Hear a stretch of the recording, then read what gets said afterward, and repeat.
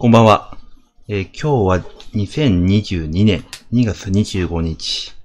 今回は、えーまあ、今回も、えー僕の本棚からランダムで本をご紹介するコーナーということで、今回、え手に取った本は、まあ、初ですね。ご紹介するの初めてになります。それはズバリ、哲学。松本人志、島田紳介氏の、えー、書物、哲学をご紹介したいと思います。久しぶりに読むね。これめちゃくちゃ売れたんだよね。あのーまあ、特に僕、松本人志好きで、本いくつか読んでるんですけども、やっぱりね、本も面白いです。はい。ということで、えー、これも長いからな。あの、まあ、ちょっと抜粋しながら読んでいこうかな。哲学だからね。では。えっ、とね、まず、まっちゃんが言ってるんですけど、えー、しんすけさんと僕は、まっちゃんは番組見てたら仲がいいように思うかもしれないですけど、仕事以外のプライベートでは昔から接点がない。えー、昔、なんだっけ？あの、二人で、えー番組してる、松新だったかな？まっちゃんとしんすけさんの名前を取って、松新、あれも面白かったですよね。何時やったかな？夜やってたと思うんですけど。うん。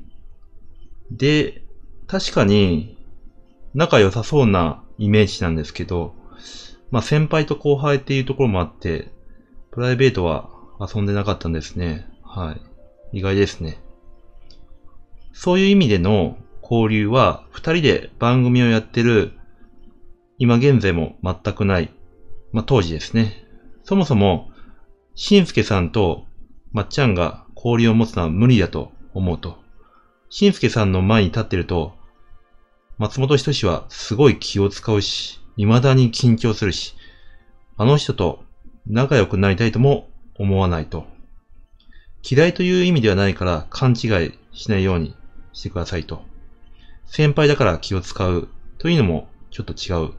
そうではなくて、しんすけさんの前で僕が緊張するのは、僕がかつて島田紳介に憧れてたとか、過去に尊敬してたとかではなくて、その感情が今も僕の中で、松本人志の中で、現在進行形で継続してるからだと。なるほどね。うん。これは本心から言ってると。松本人志と新助さんが、まあ、番組をやってる理由の一つはそこにあると。うん。まっちゃんは、本当に、そのし、島田紳介っていう人を、あのーみんなが本当に分かってるかっていう思いが、まあ、ものすごくあると言っておられます。特に漫才ブームを知らない若い人たちに対して、うん。世間は本当のあの人の凄さをまだ分かっていない。うん。まあ、確かに僕のイメージも、まあ、当時、なんだっけ、しんすけさんって漫才コンビやっておられたと思うんですけど、ちょっと漫才の名前忘れてしまったんですけど、なんか僕たちの世代だと、まあ、僕30代ですけど、なんか司会のイメージが強いですね。うん、司会がすごい上手いという。もちろん、あの、司会の中で笑いを取ってますし、すごい面白い人だというイメージはあるんですけど、やっぱり若い時の島田紳介を僕はそんな知らないので、うん。まっちゃんはその笑いのね、えーセンスがやっぱりずば抜けてると思ってるんでしょうね。うん。なんか化け物とか超人とか怪獣とか表現はいろいろあるけど、しんすけさんどの辺が化け物かって言うと、やっぱりそれはまず第一に、しんすけさんの頭の回転の速さだと言っておられます。なんかあの、まっちゃんは、まあ、ダウンタウンっていうコンビがあるので、まあ、休む暇があるんだけど、まあ、相方のハマーさんが喋ってる間に考える時間が多少なりあるんだけど、ところが、島田紳介さんは一人でずっと喋る。それってあれですよね。さんまさんもそうだよね。さんまさんも一人でずっと喋るし、まあ、化け物だよね。どちらも。うん。大阪の番組では、一人で3時間ぐらいぶつけて喋る。しかもこれがむちゃくちゃ面白い。喋りのプロとして言わせてもらえば、これはもう異常としか言いようがない。確かにな普通その、まあ、素人というか、その一般の会社サラリーマンでも3時間ぶっ通してね、喋れないですよ。あの、僕も朝礼とか、うんまあ、会議とかで話することもあるんですけど、うん、1時間でも持たないね。なんなら、30分もきついとも、正直、一人で喋るなんて。うん。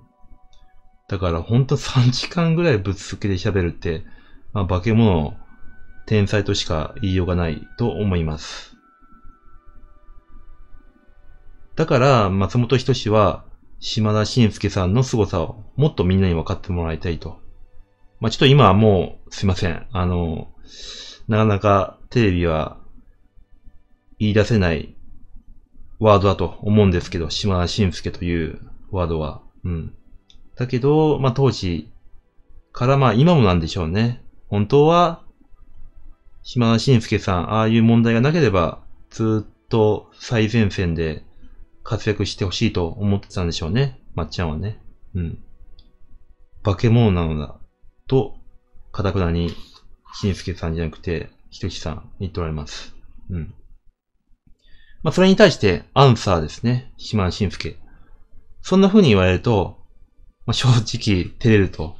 確かに、紳介さんが3時間でも5時間でも喋り続けることは、まあ、できるのは事実。けれど、それには条件があると。客に向かってはそんなに喋り続けられないと言っておられます。どういうことかというと、しんすけが喋り続けられるのは、プロを相手にしてる時だけらしいんですよ。一言も喋らなくていいから、そこにプロがいて、聞いてくれさえすれば、しんすけは、俺は何時間でも喋り続ける自信があると。しかし、素人相手ではそれはできない。理由は本人もわからないらしいです。当時の上岡龍太郎さんにも、それは言われたとかあると。お前は、しんすけは、プロ相手に喋って一番面白いやつだと。素人が面白いと思うタレントとちゃうねんぞと。そういう意味で、自分でも思うんだが、本来、しんすけはマニアックなタレントなのだと。笑いということにかけては深夜番組とかでほんの少数の視聴者相手に進化を発揮するタレントなのだと言ってますね。まあ、店に例えるなら、ほんの少数のマニアを対象とした服だけを作っているような、そんな感じ。じゃあなぜ当時ゴールデンの司会をしてるのかと言われたら、しんすけさんこう言ってます。それは才能が満ち溢れてるからやと。まあそういう意味で言えば松本人志も同じだと。うん。かなりね、しんすけさんの笑いは計算してると。僕は計算し尽くして喋ってると言ってます。しかし、計算して時代に合わせているからこそ、その分だけインパクトが弱くなる。合わせるには時代の流れを見ながら、そこに自分を持っていかなきゃいけない。その分だけ、コンマ何秒かもしれないが、微妙にタイミングが遅れると。それでは出会い頭の強烈なインパクトは生まれない。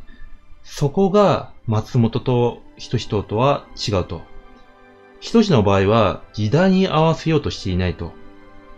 なるほどね。しんすけさんは時代に合わせながら、需要、まあ、ニーズに合わせながら話してるのに対して、松本人志は本当に時代なんか関係なく、おそらく流行に関係なく、うん、話してると。まあ、シンスケと松本は笑いに対する喜びは違うと。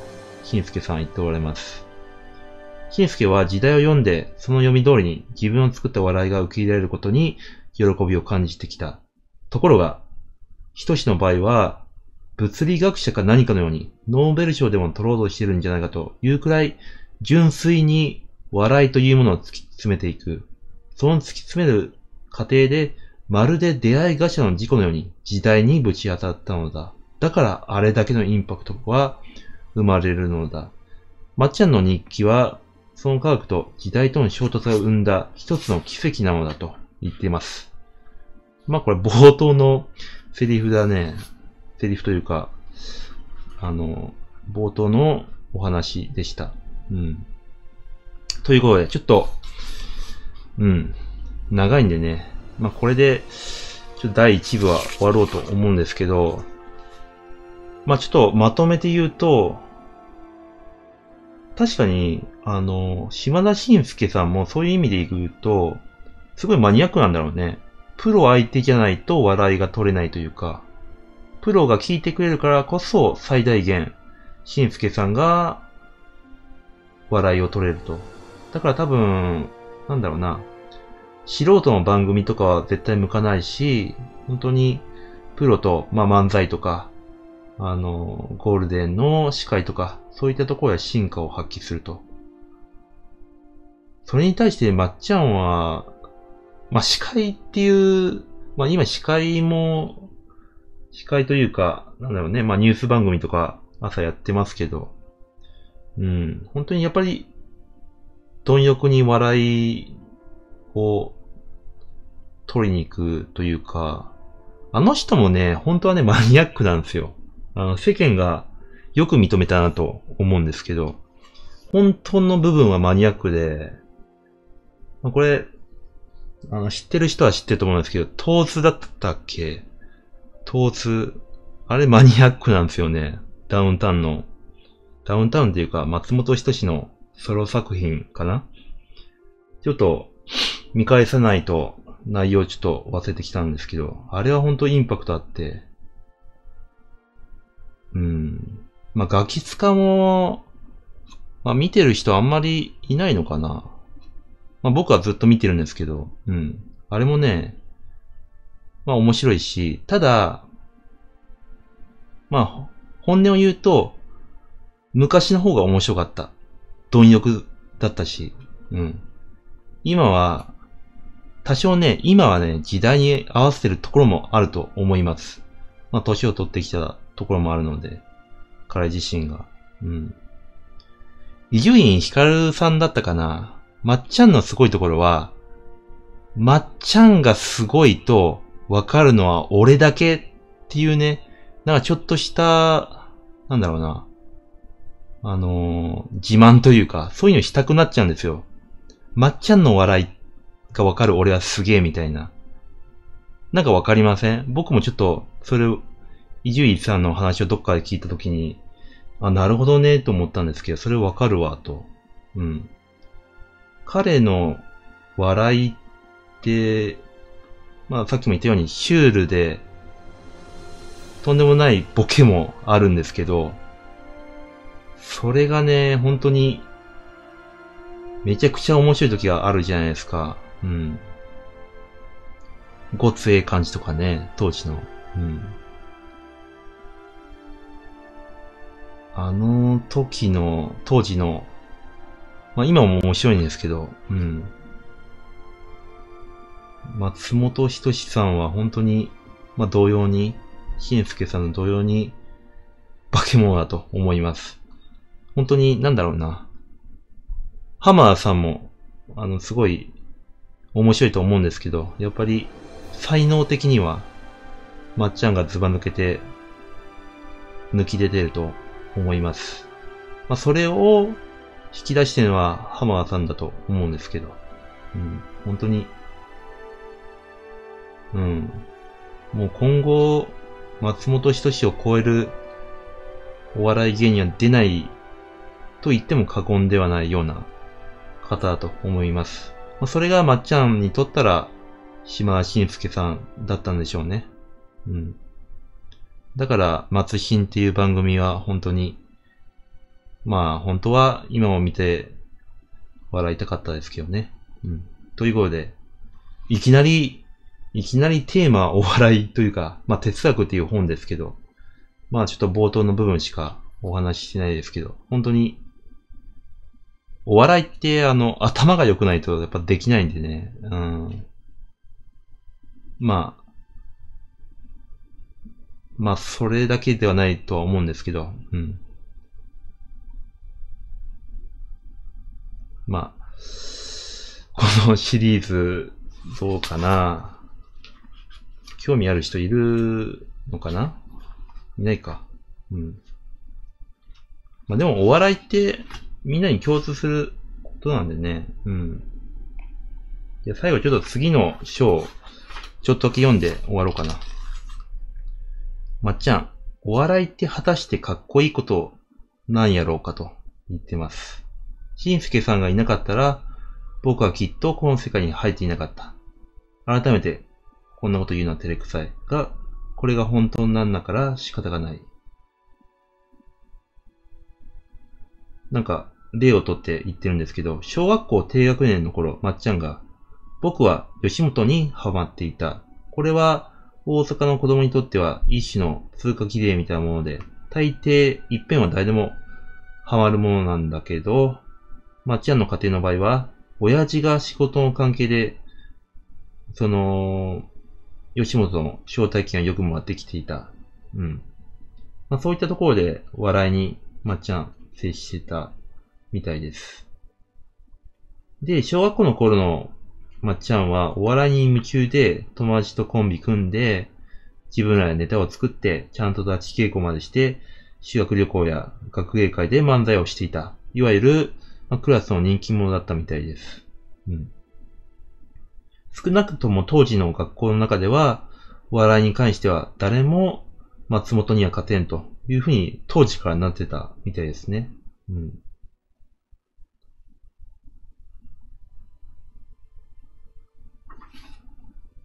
笑いの番長みたいになってたみたいです。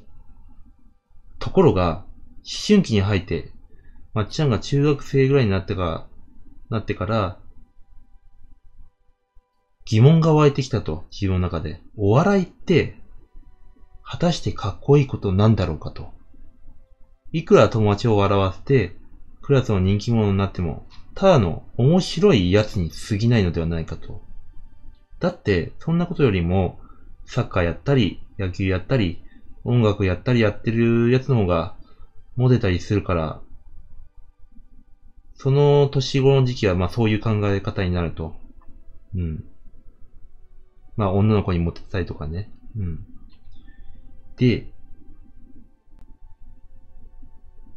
なんかもうそこで、もうそんなお笑いみたいな、そんなもんはガキみたいなことやってられんわって、まっちゃん一時期思ってたみたいです。お笑いに対する反抗期だったと。そこになんか当時の漫才ブームがやってきたということで、本当に正直、ショックだったみたいで、まあ、衝撃を受けたということで、お笑いブーム、漫才ブームの時に人を笑いで楽しませるってことは、こんなに素敵な仕事なんだと、当時思ったみたいです。うん。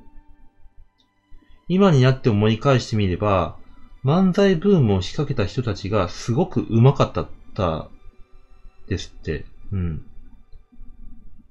それまでは、いわゆる、おじいちゃんおばあちゃんがお笑いの消費者の中心だったのに、その仕掛けた方は、若い女の子に狙いをつけた。えー、そうなんだ。確かに、女性がね、あの、世の中の経済を回してるというので、それを聞くので、それはすごいですね。当時の漫才ブームを仕掛けた方たちは。うん。で、当時、まあ、あの、しんすけさんは、あ、しんすけりゅうすけか。当時のコンビ？しんすけさんの。どこかね、他のコンビと違ってセクシーだったらしいです。色気っていうものが。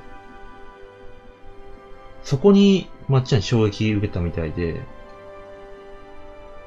人の心をくすぐる何かを、新助竜介は持っていたのだと、思うと。不良っぽいというか、自分らとすごく目線が近い部分にいたということも、まあ、共感する部分があったみたいですね。新助竜介さんたちが売れる世界であれば、松本人志もいけるかもしれんと思ったみたいです。うん。なんか、例えば、えー、例を挙げると、ザ・ボンチさんは漫才がやっぱりうまい。オール阪神巨人さんもものすごくうまい。だけど、そういう漫才の上手下手じゃないところで、新助竜介はトップを走っていた。それは、新助竜介が下手だったという意味ではなくて、感性というか、センスというか、つまり、つまり、発想で勝負していたと。確かに。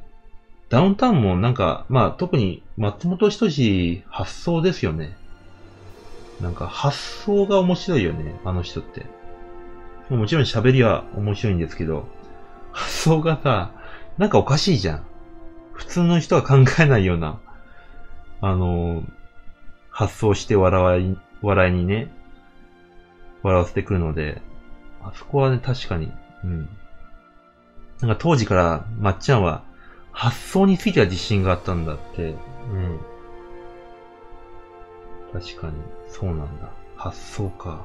考え、アイディア。うん。なるほどね。まあ、ちょっと、ここまででやめとこうかな。っていうことで、まあ、ちょっと、この話、まあ、どうかな わかんないけど、哲学ね。まあ、お笑いって本当にさっきも言ったように、うん。結構、ね、多分、お笑いだけじゃなくて、まあ、みんなの仕事の中でも、もちろん、コミュニケーション取ったり、会話する中で、笑う時とか、あの、え、ちょっと、シーンとした時とか、そういうシーンあるかと思うんですけど、そういうところで、うまくね、人と、まあ、接することができて、まあ、ひいて言えば、その人を笑わせれたら、いい関係も築けるだろうし、そういう意味では、お笑いって、まあ、お笑いを知ることって、なんか、どんな職業でも、うん、意味があるというか、まあ、仕事だけじゃなくて、プライベートでもそうですけど、うん。だから、本当に、この本のタイトル、哲学って、そういう意味でつけたんじゃないかなと、僕は、え思いました。ということで、まあちょっと続くかわかんないけど、これ、まあ当時確か、かなり売れた本だと思います。何万部かちょっと知らないけど、うん。ということで、今回、第1部ということで哲学でした。もしよかったら、今後も聞いていただけると嬉しいです。まあ、ちょっと、不定期ですけど、こういったラジオをやっていきたいと思います。それでは、さよなら、お疲れ様でした。